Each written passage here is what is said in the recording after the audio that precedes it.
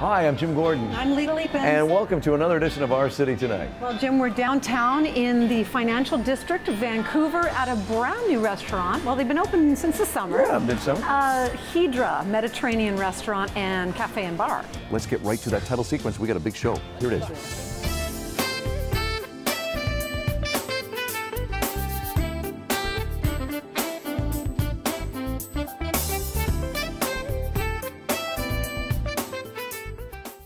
This edition of On the Town is brought to you by Genesis Lower Mainland, a new kind of all inclusive luxury experience with two great locations in Richmond and Vancouver.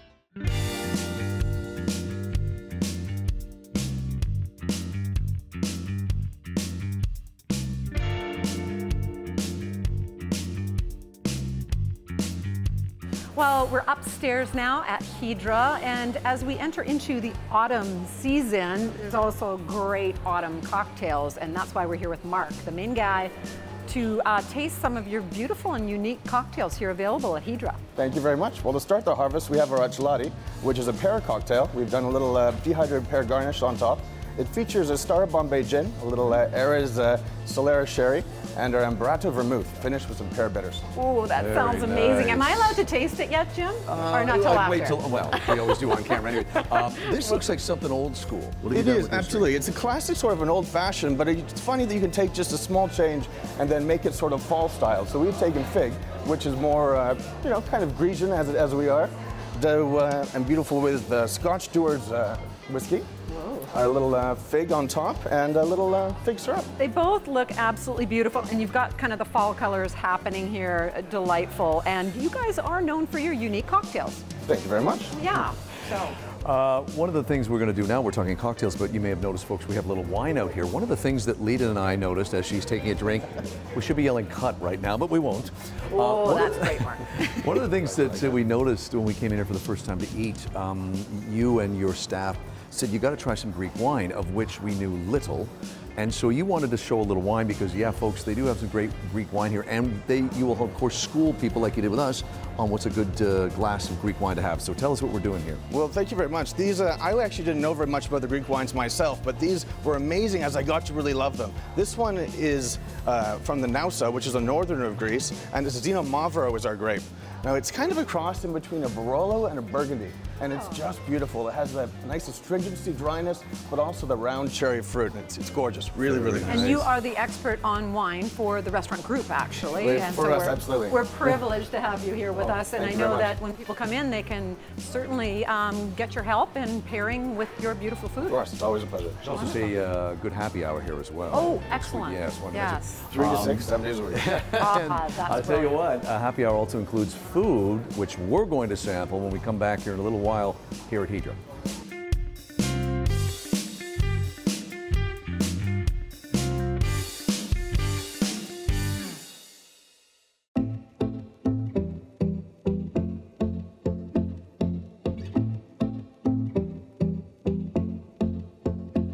Well, we're downtown Vancouver at Vancity Theatre, which is the home to Vancouver International Film Festival. Actually, a home for you too, Jim, because you've been a film critic for 23 years. Yes, don't do it much anymore, but boy, every autumn this was a place I wanted to be. It's the 38th annual film festival. It's a great time for this city, and if you're a film fan who doesn't get a chance to see a lot of international film, this is great, great time for you. And they bring a lot of great local films as well. A lot of our friends are in those films, so it's a lot of fun to be here at the launch.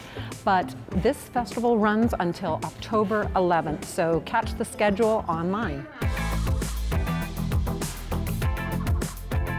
Well, continuing our coverage here at the Vancouver Film Festival, I'm standing with a guy I've known for a long time. He kind of mirrors the film and TV landscape of this country, of this city. It's John Cassini, who, and I got to get all these credits out actor, producer, writer, director, acting coach. Yeah. You do all I of run, that. I run a studio called Railtown Actor Studio. Yeah, yeah. Yeah. Uh, I was saying uh, when I introduced you, literally five seconds ago, um, when I look at your career, you really have seen, especially in this city, the film and TV community really grow into adulthood. When I look back at your early Yeah, credits, yeah. can you talk a bit about that and this festival maturing into adulthood? Well, I thought this festival. I think this festival has always been great. Um, the the uh, growth of the industry, I feel, has a lot to do with uh, us being so well trained under the service industry as well, right? Because I came up working under a lot of that Cannell stuff in the 90s.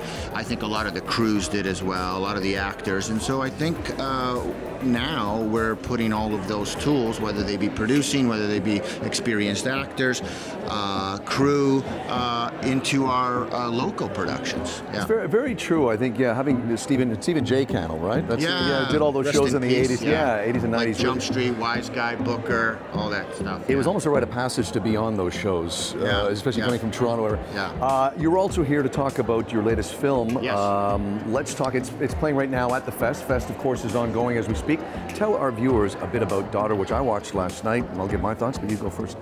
Oh well, daughter is uh, basically deals with um, the themes of grief and moving on. Uh, I play Jim, a man who um, is dealing with uh, the death of his daughter, and sort of this spiral and this descent before he finds his way. I, I really think with a kind of character in a storyline like this, there really is no right and wrong way or path for a character to go down, is there? You can't say, no, we would never do that. Yeah. It's just all individual, and this guy takes a long time. We shouldn't say there's no there's no reveal the daughter has died. Yeah, you sense that right off the beginning, I found, for the, and it's Yeah. just the, yeah, the details come in later. Right. But it's you're so caught up in the study of what your character's going through. Can- uh, you're a guy who loves to prep. Um, talk about prep for that, playing that role. Well, one of the luxuries of this particular project is it was developed with the director through my studio. So we, we, I was able to sit with the with the script for a while. Yeah.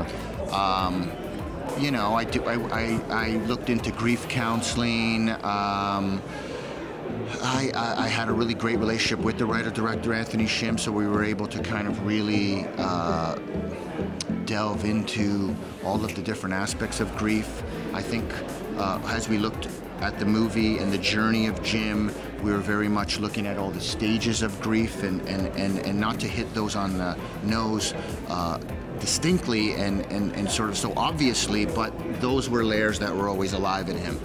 Uh, and then, you know, just I have kids. Yeah. So it wasn't, best, uh, it wasn't- access, right, It yeah. wasn't. It wasn't that difficult.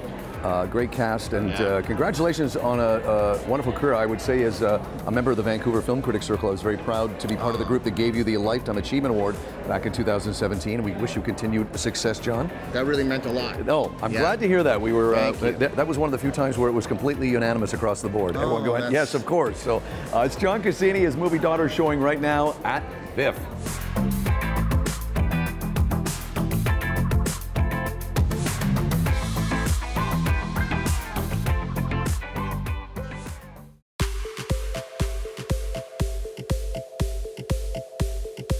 Well, uh, my favorite place to shop in Vancouver is Emil's Clothing Company. I'm with uh, Shanna. She's the owner, and we're here to talk about a whole bunch of things. Let's start with your store, which I said to you earlier. Every time I come into the store, I just my energy level in a good way just relaxes. I calm everything. It's good to hear. yeah. Yeah. Let's talk about uh, what you offer your customers here in this wonderful store. So I created a meal to create um, not just a retail shopping space, but also to create an atmosphere where you could lounge, you can hang out. The pressure isn't there to shop, Um, and so in that way we have a lounge where you can hang out, you can have a coffee, you can have a beverage if you like, and uh, we kind of take you around the store and show you what you have and let you kind of enjoy that meal experience. When I uh, first met you guys, I was uh, you know, a very tailored, conservative kind of suit thing, and you guys, I love the jackets. Lot of you've got. black. A lot of black. Yeah. Got you Yeah. good eyes. That's Yeah. right. Uh, but you guys really got me into some nice jackets. Like this is a new fall one I'm wearing, and I, it's for me, it's un, it feels very unconstructed. But oh, once I got into it, It's it- completely You know, unconstructed, but yeah. I'm wearing dress pants, but I also wear jeans. Like that's one of the things I like about the jackets you're putting me in is that it can. It's got so many different combos you Yeah. can go with it. So uh, this being one of them, I love this color blue. Let's talk about some of the fall trends you see with your expert eye and what you're putting out this year for your customers in the fall of 2019. So for fall, um, we're seeing a lot of warm hues. We have mustards, we have plums. We're also seeing tailored jackets with soft lines, but really hugging the body like this jacket is right here. Um, also knits. Knits are some of my favorite uh, part of our collection. We get them from all over Europe, from Scandinavia, Germany, uh, Ireland. Yeah. Um, and just the layering of things together where you have um, a shirt that's a DeSoto, which is a sports shirt. You could put an S&S cardigan on top of it and then a Lubiam blazer like you're wearing right now. And you also, and this is nothing against Canadian-made uh, product, but you also uh, pride yourself on bringing products in from around the world. When I walk through your store, I see it. Uh, your jeans are from California. Jeans are from California, but everything else is um, from Europe, and there was a conscious effort to do that. Mm-hmm. Um, I kind of thought that was missing in the market in Sure, Vancouver in yeah. particular. Um, our brands are very classic in style, like I've said before. Um, you don't have a lot of logos, not a lot of sequences, and being a lawyer previously, I had a lot of colleagues that were saying, you know, I can't find the right clothes for me on a Sunday. Like something that is casual but is very tailored and clean. Um, and so that's where this idea came from. And Europe seemed to have that particular genre of clothing. I like that you brought that to our city. Uh, we're fairly good fashion in the city, but yeah, it's a nice, a nice change. Give me some other thoughts for the fall going forward for our male viewers out there. What do they need? Um, I would say layering is going to be a huge part of fall. So whether it's going to be a t-shirt or a sports shirt underneath with a sweater or a cardigan, a blazer, we've got great overcoats coming, um, and then pants. We just started carrying Brax pants. They're a relaxed, comfortable fit, but they look great on any body type. Okay. Uh, one thing I noticed you have on the shelf from when I was last in here in August are gorgeous looking overcoats because we have damp, cold winters, and I like the styles you've got. Some of them are really old school, which I really like. Yeah, so we have a variety of overcoats. Um, you can go from um, the traditional overcoat that Sealup does, 100% um, waterproof, not water resistant, so it's not going to get damp at all inside. And then we have um, Samso and also LBM 1911 that does the most classic plaid, um, thick wool overcoats that you can throw on top of a suit or when you're going out on a date on Saturday night. Right. Or yeah, so Very we have nice. a combination of both. Uh, we should also mention too. I have been here several times in the past, uh, not to buy clothing, but to attend events. You Right. actually have a, a nice kind of lounge and bar area at the back there, We where do. people, so people want to have events. I've been to a couple of them. They're pretty cool. This is a pretty cool spot to have an event. Yeah, so we love hosting events. Um, we've done a couple events for ourselves, whether it's um, a new launch of a brand or just to celebrate something like Christmas or our anniversary. But we've had a lot of brands also come in and take over the space and invite their guests and you know get the music going, and everybody has a great time. Very nice. Uh, you're also very active online. People can find out more from you guys at uh, what website? We're at www.emilclothingco.com. We're also on Instagram and Facebook. Very nice. Shanna is, of course, the owner here at Emil Clothing Company, downtown Vancouver. I guess we could say in Yaletown. In Yaletown, yeah. Very nice. Okay, it's Emil Clothing Company. Come check them out.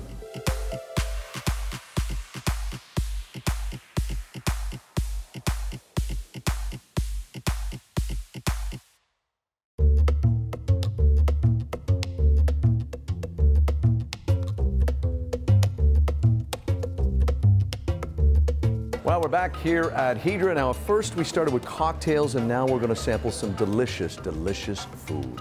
Now, Chef, you have been around the world cooking. You've been to France, Switzerland, Africa, United States, and you're back here in Canada. Yes. And we know that you're cooking your authentic homeland food here. How did that come about? Um, I think it's a circle that is closing in life. Oh, yeah. We talked in the past, I always I was running away from the Greek food. It's like kids that run away from home, right?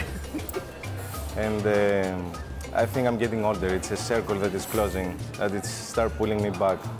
Try to showcase uh, something that is closer to the food that we grew up. Which, which just leads me to a question that, that when you say running away from the food, you were running away from what has become of the food. I remember when we first met you, you talked about you wanted to create food that you remember from your childhood, Yes. sitting around the table in Greece, your, your grandmother, your mother, everybody else making that food, and that's what you're doing here. Yes.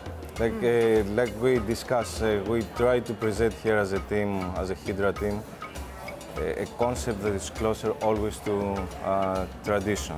Yeah, yeah. Well, uh, we're looking at some wonderful food, and we have to we have to reveal that we actually have had some of these dishes, and I know this is one of Jim's absolute favorites.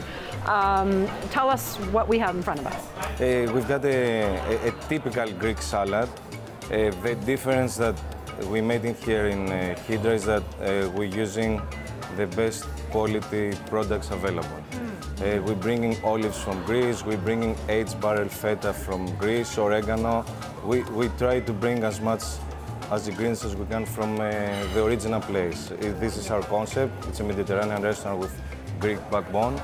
We try to bring as much uh, ingredients possible from uh, from Greece. Uh, Jim I'm is no, getting just doing my best not to pick my fork up, which I'm guilty of doing in our food section.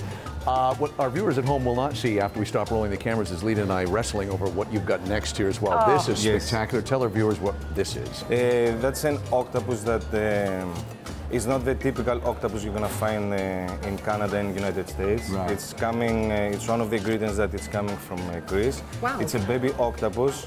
It's uh, a kilo, kilo and a half. So that's helping us with the cooking process. Um, normally with octopus you braise it for a long period of time. Uh, with this one we don't. We're using a traditional method that we braised with uh, vinegar. And then we finish on the griddle. That's it. There is nothing to it. There is no magic. There is no science. It's just some love and tradition, like we keep saying. Oh, perfect. Very Uh, nice. And we pairing it with some uh, fava. Fava is known as a yellow split pea in North America. That we pair with uh, sun-dried tomatoes and uh, capers. Uh, ingredients that uh, I grew up as a kid. I remember my family, my mother, my grandmother making that dish.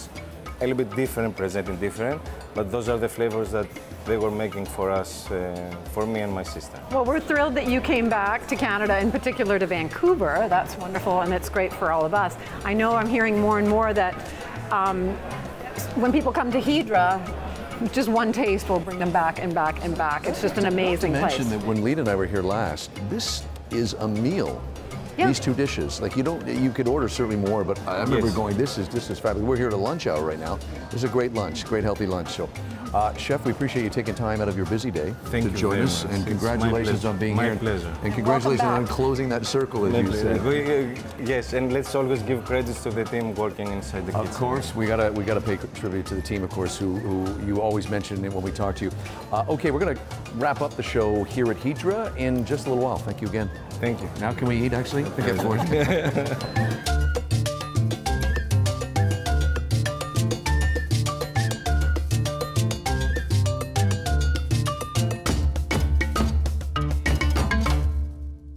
This edition of On the Town has been brought to you by Genesis Lower Mainland, a new kind of all inclusive luxury experience with two great locations in Richmond and Vancouver.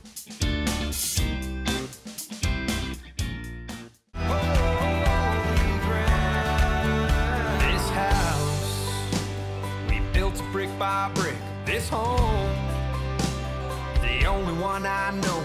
Well, you're looking at the new video for the new single from the Chris Buck Band. It's called Holy Ground, follow-up single to the very successful first single, which I love, called Good Old Days, off the album All In. We're with Chris Buck himself, and we're here at a fabulous restaurant at the corner of Bute and Robson called Blossom Dim Sum and Grill. Lita, you have the first question for our good pal I Chris Buck. do, Chris. Oh my God, we've loved your music, Thank you. and uh, every time you put out a new single, it it skyrockets. we thank watch you. we watch the charts, of course, and we can't wait to uh, come to see you live again. Um, tell us a little bit about Holy Ground because it really seems personal. It, it is. It is personal. Um, I wrote the song uh, basically about growing up in northern Ontario in a place called uh, La Fontaine. A lot of people don't know that. It's about an hour and a half north of Barrie. And my uncle's got 150 acres, and he's got a sugar bush, so he does maple syrup. And every time I go there, when I'm on the road or I'm on tour, it's I guess I call it my holy place. It's a place where I go to relax and reflect. And I grew up there too, so uh, I wrote a song about it, and we shot a music video at the property there. Yeah. Uh, it's so good, and I know that every time we see you, and we don't see you as much anymore. That's probably a good thing for you because you're touring all the time, or he's avoiding us. uh, but you're on the road all the time. Um, you've got a lot of dates coming up, which we'll talk about before you take off. Uh, talk about the fans and how they've been as, as you continue to grow and, and get more and more yeah, successful. Um, well, I've, I've it's, it's like the 12th year now for Chris Buck Band, so I've been doing it quite a while. And uh, one thing we've always done is played a lot of the smaller communities. A lot of bands at our level sometimes may skip some of the smaller towns and go to the more major markets. Yeah. And I, I found over the last few years playing these small towns, they are so loyal. Like they come out and they remember you, and you build little relationships all through Canada. And it's just amazing to see the support uh, where I'm at in my career from not only just from British Columbia, but all the way across Canada. Yeah. I think what I found too, though, is I'm not specifically a country music lover, and, I, and but your music just, I I think it transcends. It, it is just Mm. your your your songs are catchy. Uh, and you're, maybe you're making me love country music, and, and I know you don't specifically uh, say that's your genre because Right. you, you kind of go outside Yeah. the boundaries.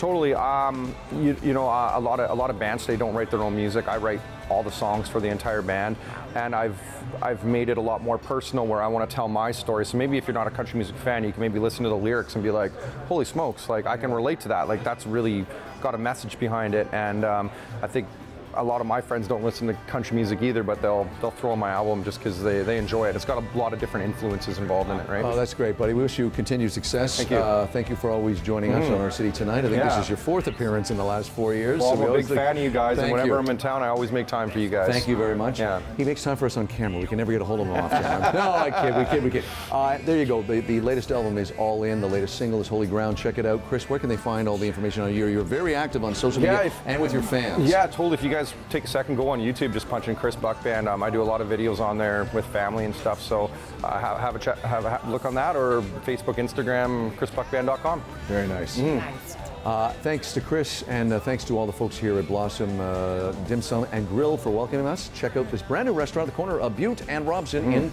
downtown Vancouver.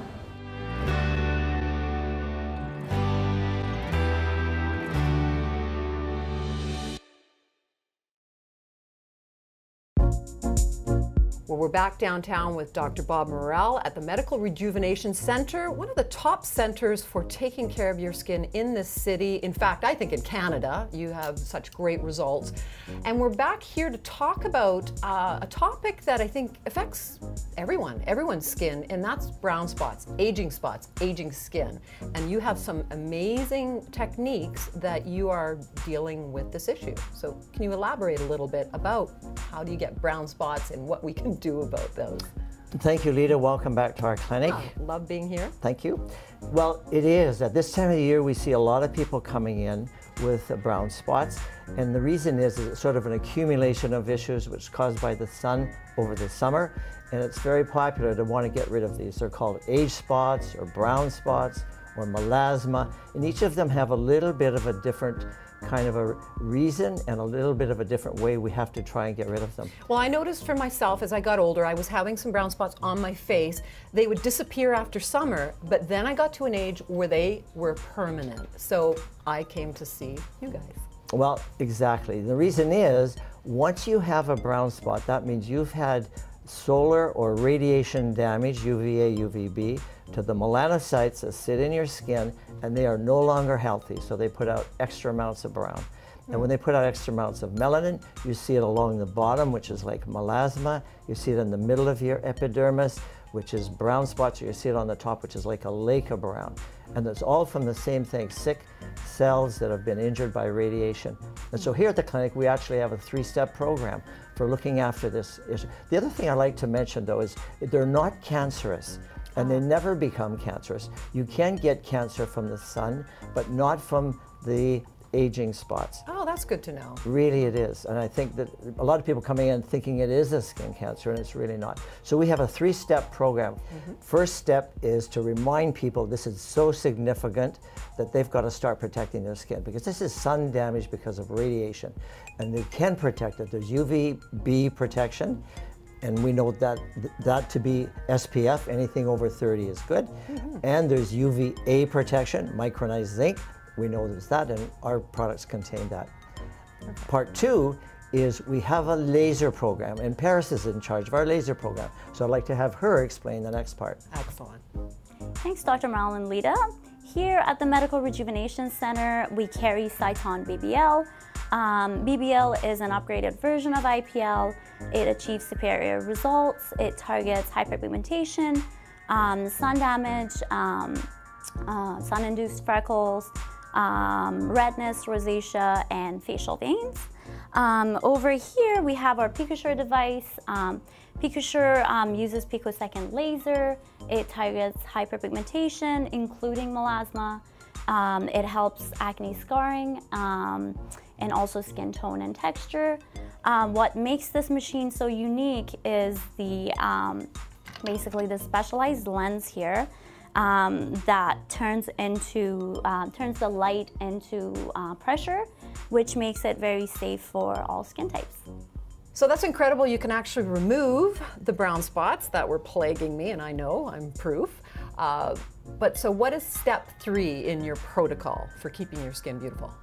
So the final step is a maintenance program, and you go on it now, and you you're on it forever. Hmm. The program is to keep your skin healthy, keep your skin and the melanocytes controlled, and it's composed of a vitamin C product which stimulates collagen, helps decrease the amount of melanin being produced. Mm-hmm. Brightener, which is three kojic, kojic acid, azelaic acid, and lactic acid, which decrease the synthesis of melanin.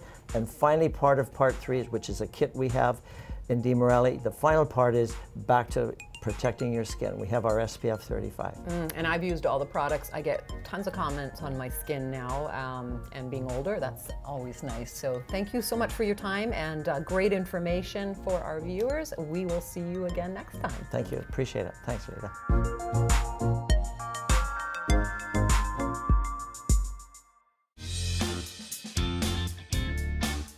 Well, we're back here where we started the show at Hydra, and we've had a great show, but we're now joined by Hydra GM and good friend Claire Wright. Claire, we've had a great time here Oh, today. Thank you guys for coming. You're Oh, welcome. and there's so many great things to eat here, and as we found out, to drink, of course. Of course. Thanks to your team. Yeah, we should say now we're in the middle of the fall season. You're keeping your menu the same, but We're going with the same menu that we've opened with, but of course we're going to be adding a lot more fall-inspired features, mm. and we have some beautiful fish from the Mediterranean oh. being Oh. shipped in daily. Oh my God. oh, what you guys do with that fish to the table and deboning is spectacular. Yeah. That's all we'll say. Okay, thanks to Claire and uh, everybody else here at Hydra. Come and check it out, downtown Vancouver. I'm Jim Gordon. And I'm Lita Leapin. We'll see you on the next edition of Our City Tonight. Genesis Lower Mainland with two great locations in Richmond and Vancouver. Test drive, purchase, maintenance. They come to you. Some of my clothing provided by Emile Clothing Company, located in Yaletown, Vancouver, and online. Additional clothing for Lita provided by Blushing Boutique, also located in downtown Vancouver.